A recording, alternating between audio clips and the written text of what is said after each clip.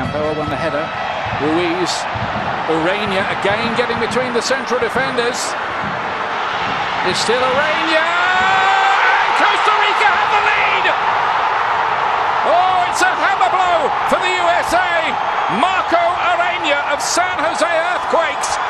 US nil, Costa Rica one.